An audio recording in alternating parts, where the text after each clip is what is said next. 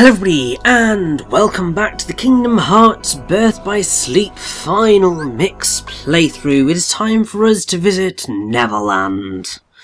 We're heading to the second star to the right, and straight on till morning. And once again, Terra, why for the love of God, you keep running into the bad guys. Back! You'll not get me, treasure! Leave him to me.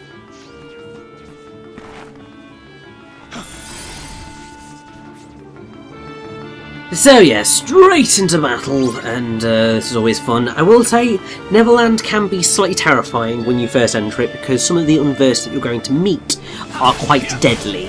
Um, primarily the wild bruisers, which are big monkey-like things with bananas on their heads, and they are they are quite terrifying, quite powerful. So you do have to just watch out for them. You've also got these things, which I can never remember the names of, um, which are super elemental.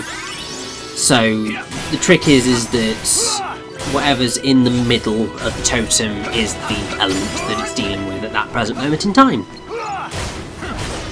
So you can use that to deal with some weaknesses, and that'll help. And there's the Wild Bruiser that's so terrifying. but it's okay because you know we're, we're pretty decently leveled at this point, and also um, a lot more comfortable in terms of the gameplay. So it's all good. Now, in our trip to uh, Neverland here, obviously based on Peter Pan, obviously, um, Captain Hook, voiced by the, the delightful Corey Burton, and uh, Mr. Smee, voiced by the delightful Jeff Bennett. We haven't met the other main characters yet, um, but obviously they will come in time. Have to say, the original, well, the, the, the film Peter Pan, not my favourite of Disney films. I think part of that is because Peter as a character just really annoys me. like he's just he's such an asshole. your assistance, I'd have demanded it. We have the But- under control. Isn't that right? There we go. Jimmy? Oh yes. It's a classic, so We can't really blame it all that much. To the brisket, we would. Why, I'd have given him a little of this and this. And don't think your efforts mean you'll get a share of me treasure. Understand? I'm not after your precious box, Captain. I'm looking for a person. A boy wearing a mask. Ring any bells? No, not a one. Figures. It's me, you blithering barnacle. We're off. We shall leave this place before the light draws them back again. Hey, hold on. What did you just say about the light?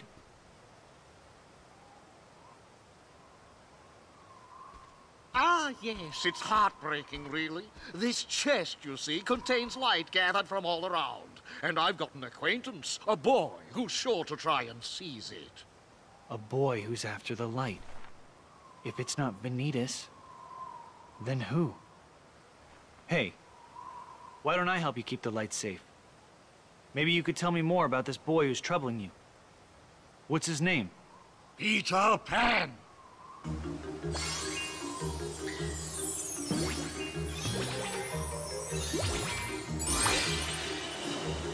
So, yes, we've got to protect the treasure from a certain ne'er-do-well. This chest must be brought Well, to Skull Peter Pan! Because, of course. Pan anywhere near it. Trust the captain of the ship. Right. He clearly looks evil with that handlebar moustache.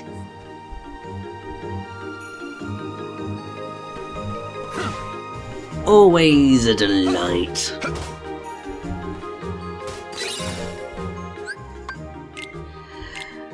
But yeah, so uh, we've got new Keyblade. I like the Hyperdrive Keyblade, but clearly it, it's it's not the best possible thing for Terra because you tend to want to go more towards the strength rather than the magic. But there we go. And also, part of me is still really annoyed that I never actually went and bought Zantetsuken because it's not necessarily a move that I would use, but it would have added to me blooming what Command collection. And it makes it just so much easier for when I eventually decide that I want to return to Birth by Sleep and just go, yes, let's get all of the commands, do all of the reports, and so on and so forth. Probably never going to happen, but you never know. Stranger things have happened. Although, I mean, I'd, I'd need to, you know, have cleared my entire backlog of games, and that's going to take me bloody forever! So yeah, once again, just messing around with commands. We've got Meteor Crash now, which is a super powerful move, and if I recall correctly, it's really quite epic. There's some really spectacular um, moves that you can create in the latter half of the game. Once you've got all the commands to do it, they are just completely and utterly badass, and it's amazing. And also, one of the things that I had to, I do like this trip to Neverland, much more so than probably any of the other Neverlands we've had in uh, the Kingdom Hearts franchise, because Kingdom Hearts 1's Neverland was kind of kind of bland because all you were doing was being in the ship, and while it was cool, it wasn't anything particularly spectacular. And then uh, Memories was exactly the same as the ship interior, which was just yeah. Um, then uh, you had 358 over two days, which was in this vein of um, style, except it was more you spent the majority of this time fly, or flying between all the different islands rather than just running. So I'd say, in general, it's probably yeah a tie between Birth by Sleep's Neverland and FIFA Two Days Neverland, just because both of them capture the essence of Neverland, but do so in different ways. I'd say Birth by Sleep's in Neverland ends up being probably better in terms of what you have to do because you don't have to face down. Um, I think it's King of the Sea or something along those lines, because that boss fight was tedious as all living hell. It's one of the issues with Days. Like, I have a fondness for its story as as many issues as it does have, um, but its main issue was that the bosses just were not suited to single player campaigns. They had far too much health and it was just not pleasant. And what I'm trying to do here is uh, get a Thundaga, which you can get by hitting the top of the uh, totem pole. But as you can see, it's not really happening. I am going to do it, but I think it's on Ven's story rather than on anybody else's. Could probably do it on Aqua's story if you get right to the... well, once you've beaten Neverland. But... That's a story for another day. Um, I've completely forgotten where my train of thought was. Yeah, I think I was I, I was blabbing about something or other. Um, but yeah, with like the original Peter Pan film, it's one of those things where I mean it's, it's really bad, but I'm not the biggest fan of most classic Disney films. Like I will happily watch them and happily appreciate them, but they don't. They, some of them have aged better than others. I mean, Peter Pan in particular, I think, has aged really poorly. If only because you've got quite a bit of racism in it because of the Red Indians. And there's an entire song which is what made the Red Man red. And it's just like, oh, no, no, no, no, no, no, no, no. It's, it's not okay anymore. And while they present the Indian camp in Birth by Sleep, I'm quite glad that they didn't present any of the actual characters, because otherwise, oh boy, that, that would have been that would have been an issue.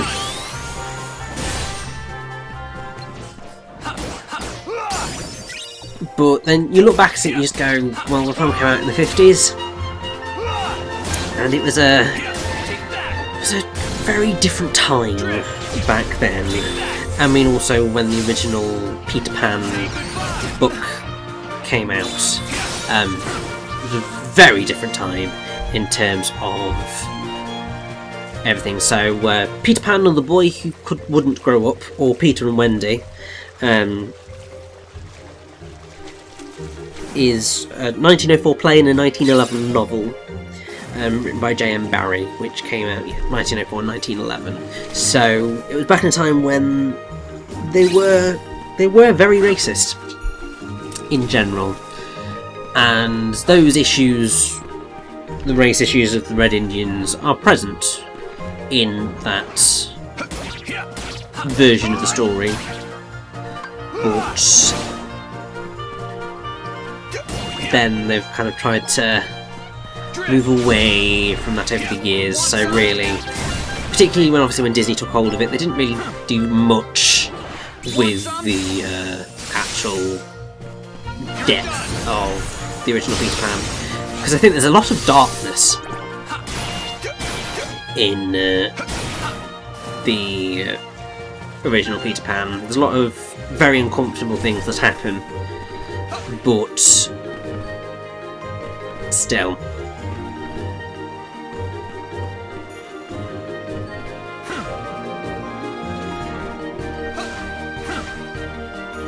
Now, as we're running about here, you will notice that Neverland's actually quite big. Like, in comparison to most of the other worlds in Kingdom Hearts Birth by Sleep, it's, it's really quite large. And you've got many different rooms, you're, you're kind of toddling along through. It's really quite fun. And really, this is what I think of when I think of how big uh, Kingdom Hearts World should be. It is about this. Because it's just big enough to have some level of exploration in it, but it's not so large that it's incredibly easy to get lost. I mean, it's, it's slightly easy to get lost in the sense of you can potentially. Well, as long as you know the gully is your central point, then you'll realise that you can kind of get to all the key areas from there. And the, the general gist is you only ever have to go to one location, mostly, with the characters. So, uh, with Terra, you've got to get to Skull Island, and that, that's basically it. Um, is a little bit more shrunken down, and Aqua's pretty much covers the whole length and breadth of Neverland. But it's that whole thing of, you know, showing different parts of the world, and it is why I think that each of the visits to these worlds in Birth by Sleep does end up working. Because it's that whole thing in games where you're you have multiple character stories all visiting the same worlds as they go. You always run the risk of the visits ending up getting overly repetitive but thankfully, in uh, Birth by Sleep, because each visit takes you to. Uh, while it's the same world, you're generally visiting slightly different locations. You're generally dealing with uh, different enemies, mainly in terms of the bosses and the plot elements. The only real crossover moments in uh, Birth by Sleep are Raging Garden, where you tend to see a lot of the same cutscene, the same boss again and again and again. Um, obviously, you've got Land of Departure right at the start, that's a big crossover moment. Um, there will also potentially be another crossover moment in the Land of Departure once we've got a little bit later on. We're nearly there actually. and I, I saw a yes, fully powered up Aqua. Get in there. Um, yes, we've got crossover moment in there. Um, what else? We've got a crossover moment in. Definitely in the final world. There's a, a cutscene that definitely repeats there, and you will see it many times. Um, then there's a there's obviously slight crossover in Castle of Dreams between uh, Terra and Aqua. There's slight crossover in the Enchanted Kingdom between Aqua and Ven, and that's that's about it. Actually, I think where they they end up in the same worlds at the same time. There are prob- there there are technically a few other instances where they are in the same world at the same time, but they just haven't gotten like they- just miss each other generally. No, I'm so close. I'm determined. I will get you.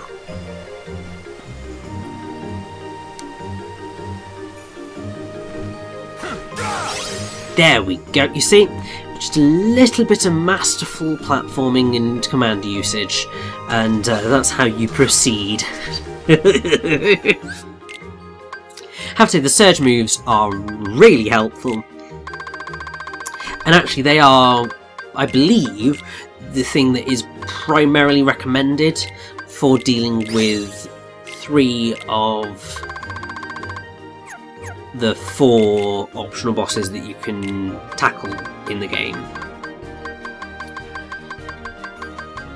Because they allow you to get in, cause a bit of damage, and get out of there before they can do anything. And oh, that, that was a that was a bad bad shout on my part. So I'll just have to level something up, else up in the time being.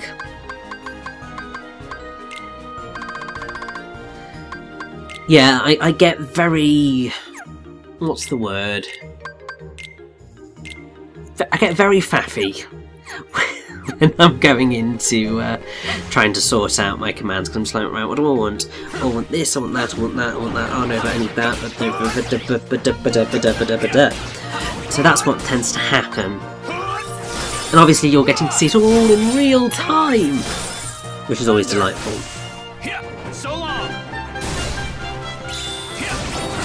Also, I will never get over how fun Sonic Blade is. Like, I just want Sonic Blade to be in every single Kingdom Hearts game ever made from now on.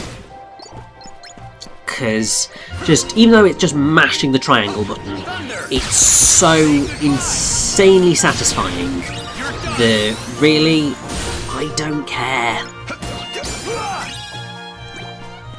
I just want to cause chaos with my giant keyblade flying into enemies because it's just so much fun.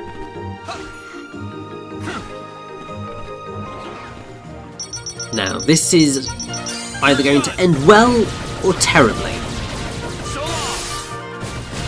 Actually, I do like Flame Salvo. It's quite a fun uh, one to, to pull off.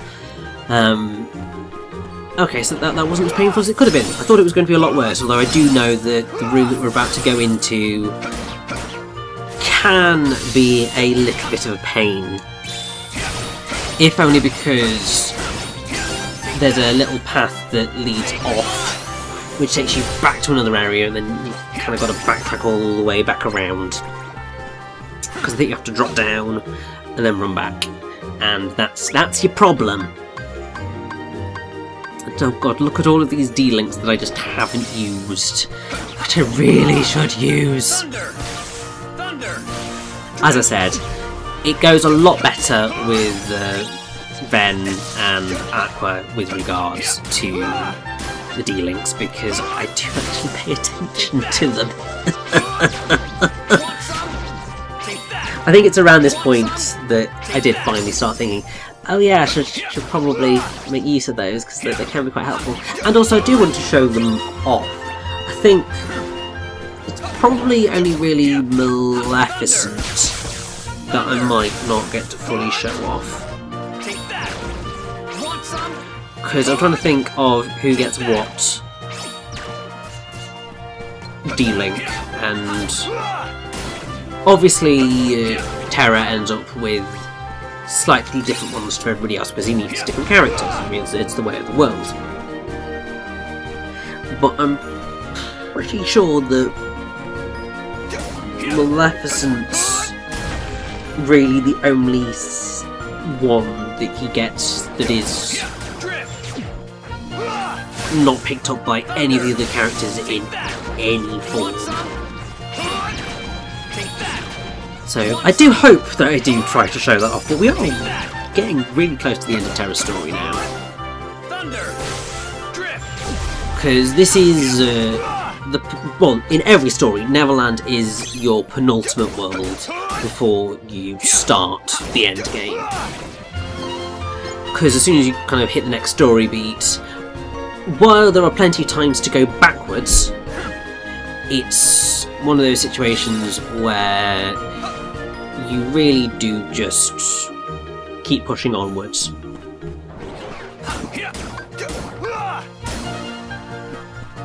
And yes, this is what I was talking about. So yeah, it, oh, it's it's not too bad. Um,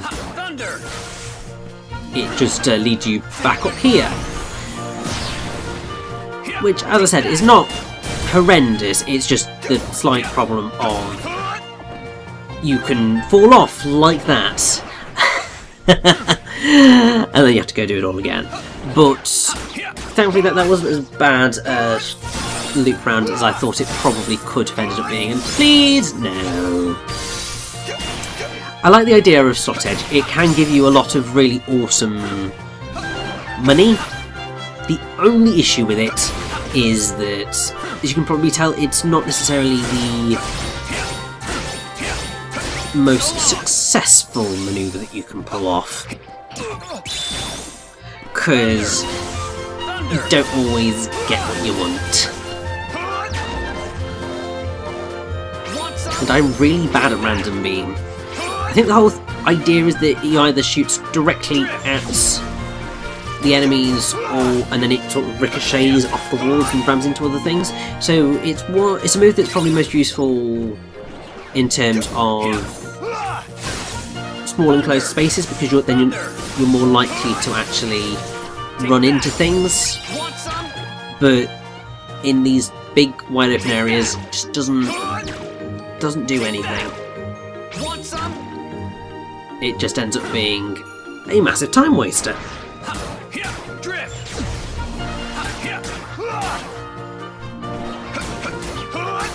Now, come on, is one of you going to be nice and going to give me um, the thing I want? Or is it going to take me a little bit longer to get to fully leveled up Stitch?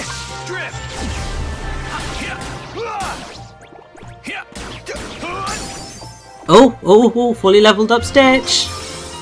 I will take that. I don't have anything to, you know, use this on. Which is rather infuriating.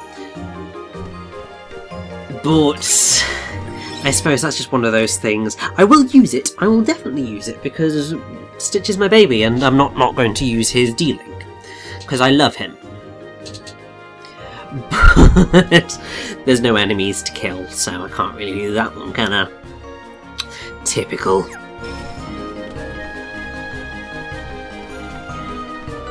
Yeah, you've got this big wide open area which clearly signals boss fight ahead, but this isn't actually where our boss fight is going to be. This is actually where another boss fight is going to take place, just not ours.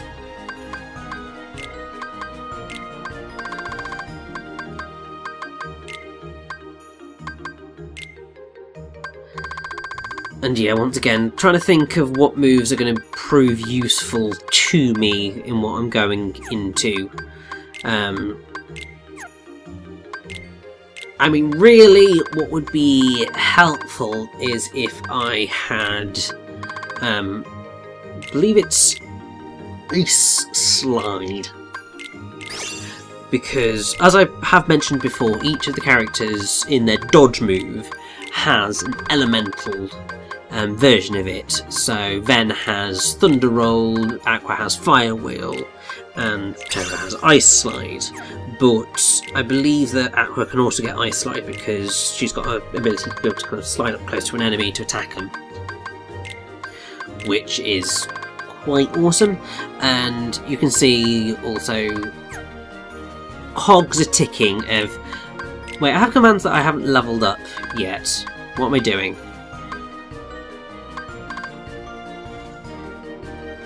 And then I'm also trying to figure out what blooming shotlock to use. The shotlocks are once again really helpful. But as you'd probably expect, the issue is just always pulling them off more than anything. But yeah, you look around and you think, oh, is there anything in this area? No. This area is actually just far too big for its own good because you never face any enemies here other than one boss fight in Ventus' story. And yeah, it's just not as not as fun. And oh, oh, limit storm. Eh? I wonder what that does. I don't think I'm ever probably going to really use it. What? I feel. How has that happened? I think I am right. I think I am okay because I think potentially two of them are not available until the end of Neverland. But then I know that there are quite a few listed around Skull Island here, so it should end up being okay. I just don't want to enter Skull Island because that way we will trigger sort of the first fight and it's uh, may force me into things that I don't want to do and uh, I don't know why I haven't attached Sonic Impact yet because that is just really really stupidly helpful. Like really really stupidly helpful like, my god. Why the hell did I not pick that up and attach it sooner? Oh I'm a crazy sod sometimes. And down he goes and I will follow because I want the experience. I don't necessarily, well I do need it, but I don't necessarily need it right now. Because the fight we're about to go into is not that difficult. It really isn't. Well done. Pardon me, Captain, but it's about that shooting star I was mentioning to ye. Mr. Smee, I ordered you to drop that. I'll not have you gushing on about some shooting star. Yeah, but, but, Captain, most shooting stars twinkle for a bit and then they go out. But this one, it, it kept on sparkling and shining even after it crashed down.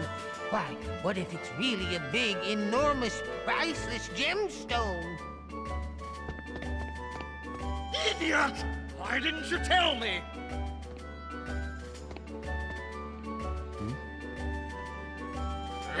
We've a bit of business to attend to and must, I fear, step away.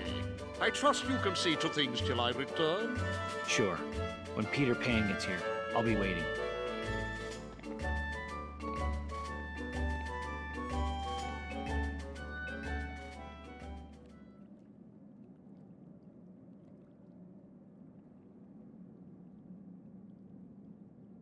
Shh.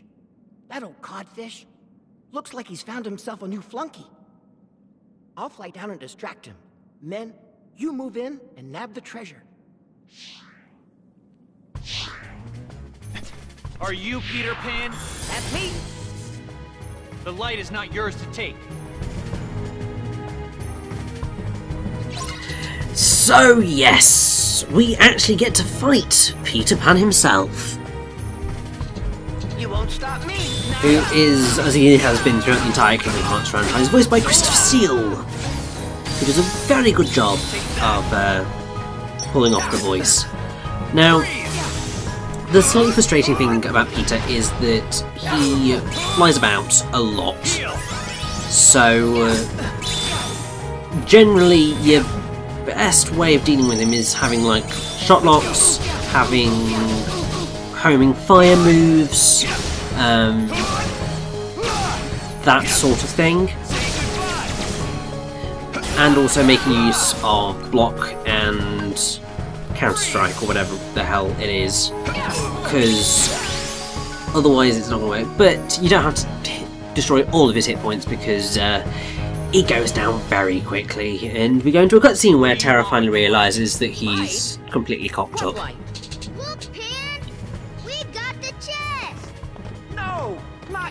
Blockheads! Hey! Look!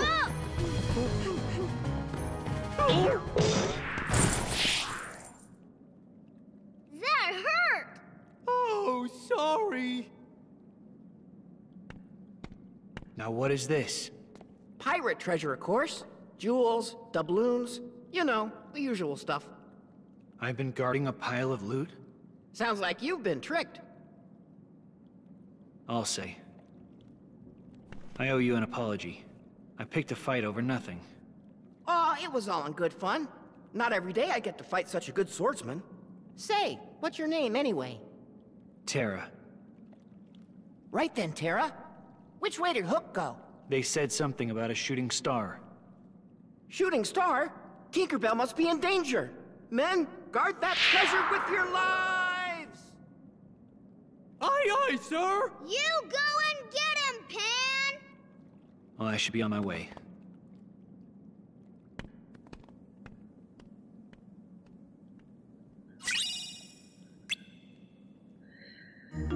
Be on his way, he says. And I like how the chest just dramatically disappears, but yes, be on his way, he says. Exit Skull Island, and immediately.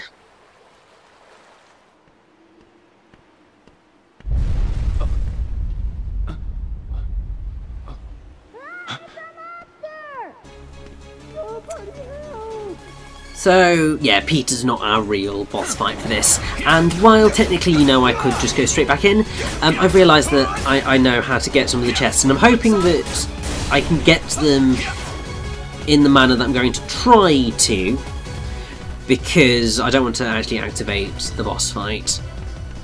But I do need to go into this top area because you get chests up here, and actually, this ended up working. So there's a chest on this side, and then there's a chest on that side, which part of me was just like, am I going to be able to get across here? And the answer is, hell yes, I'm going to be able to get across here. Sonic Impact was amazing. And uh, yes, then it's just like, well, I'll just drop in. I know I'm not going through the front door, but I'll just drop in and uh, bring the pain. Slightly in Cubby, um, clearly getting their asses handed to them by the Jellyshades. Um, slightly voiced by Mason Vale Cotton and Cubby by Wally Wingert. So, uh, yeah, they do pretty pretty good jobs. And uh, yeah, the Jellyshades, we've faced them down before. Um, this is definitely a much easier fight in general because while you know it, it's very easy to get hit, there's no time limits, You can just sort of effectively sonic impact through a lot of them. Um, shot locking through them causes chaos. If you have like zero gravity, aero, magnet, magnet in particular does very good job. Then you can obliterate their numbers very quickly.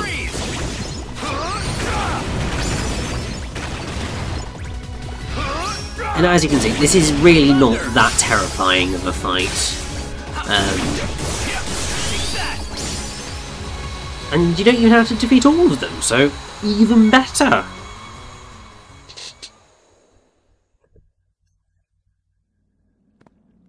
Boy, you sure cut that monster down to size. Monsters. Plural. Ahoy! How fare ye, lad? Hook! Go hide. Fine. All's well.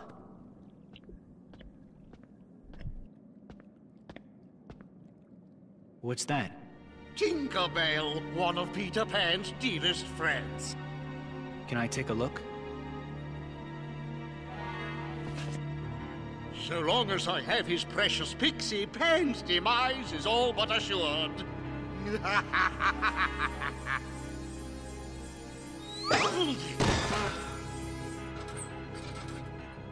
What's the meaning of this? You know, I didn't give it that much thought. Just doing what my heart tells me. That's mutiny, and you'll walk the plank for it. That sound!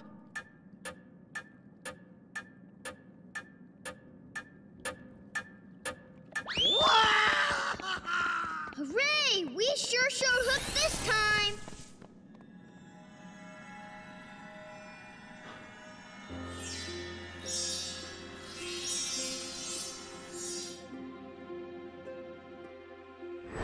Star up there is another world. Huh? Terra. Yep. Hard to believe there are so many worlds out there besides our own. The light is their hearts. And it's shining down on us like a million lanterns.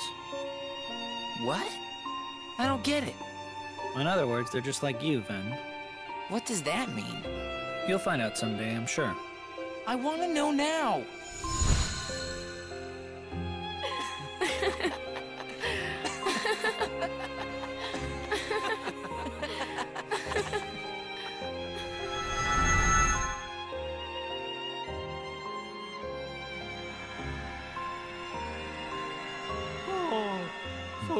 The pirate treasures. Hmm. Did you guys really want the jewels and gold that badly? Nah, we don't care about that stuff. Uh, but uh, Pan was counting on us. I'll tell you what. Put the stuff that's really special to you in there. That can be your treasure. Yeah! Real swell idea. Thanks!